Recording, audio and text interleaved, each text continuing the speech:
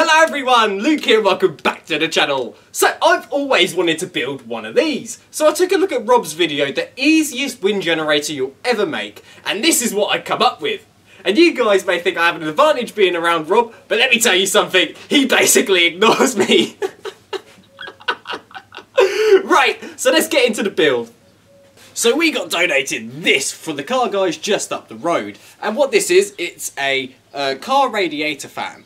And in the middle of this, I think that there's a brush DC motor in it. So what we're going to do is connect it up to the multimeter, give it a spin, and we should actually be able to generate something. Okay, so now we've got this connected up to the multimeter, let's just give it a spin just to see what happens. Wowzers!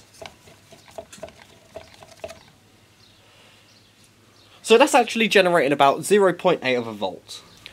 Right, so if we give this a spin now, it will show us how many amps it's producing. So...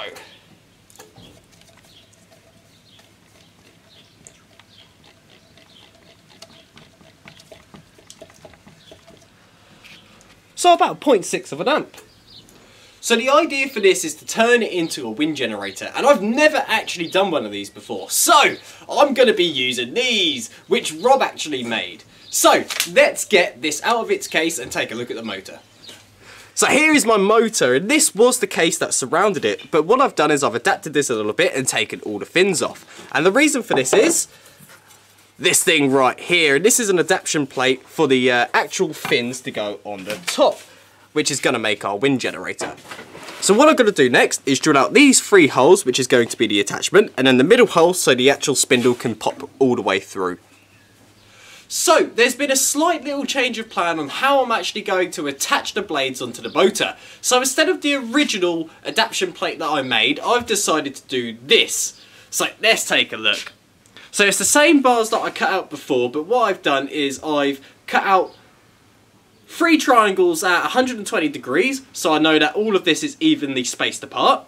Here's my middle section for it to go in. Here's the bolt holes for the case, and then here are the holes for the actual um, blades. Okay, so let's see how this actually gets put together. So I've got my motor here with my adapted plastic case. This goes on and it's specifically keyed and then an M6 nut goes over the top of this to keep this nice and solid. Then what happens is we grab our little adaptation thingy, stick it into the holes that we've drilled out, like so, so it sits nice and flat, like so, and then it's free to spin. And then we grab our blades, and these literally get fitted into these bars like so. And once all of them are fitted on, we've actually got our little wind turbine. So, I'm going to do that now. So this is what it looks like when the whole thing's put together. And you're probably going to notice that I've angled these blades a little bit better. And that's because they have to. It has to catch the wind and it acts almost like a sail. So let's take this out into the wind, connect it up to a multimeter and see what it can do. Right, so we're in the car park and there's a little bit of a breeze. So let's see what kind of volts this can produce. There we go.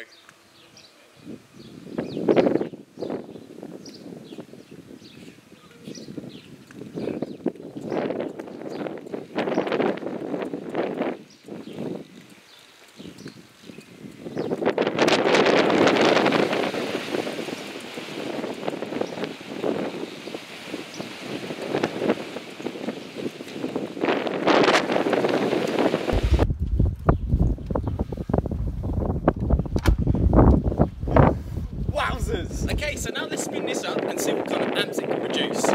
can produce. Come on, wind.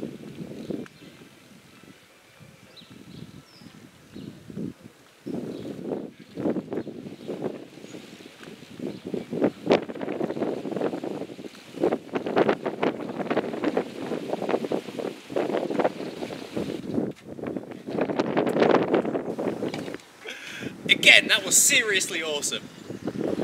He's never done anything like that before, and I tell you what, when he gave out about two watts, I kind of just suspected this as, you know, not happy, okay? So we went and had a look at Omni Calculator. It's just an online calculator. Her blade length here is 52 centimeters. The wind speed was 2.5 meters per second. And guess what? When you put that into that calculator, then a normal commercial turbine is going to produce more or less 2 watts. So this, homemade, from scrap, a Fiesta fan, and Luke's very first time ever building anything like that. And he's doing as well as a commercial turbine. I just thought that was awesome. Anyway, when he found that out, yeah, he perked up.